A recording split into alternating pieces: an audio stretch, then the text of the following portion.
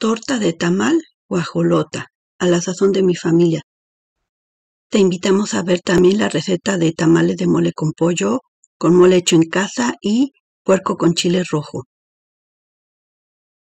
Cortar el pan.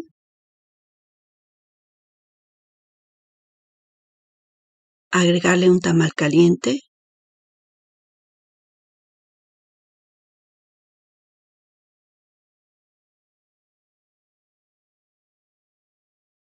Crema al gusto,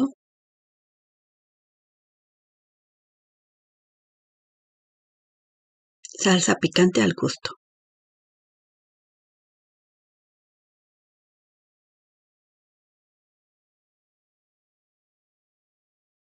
Cortar.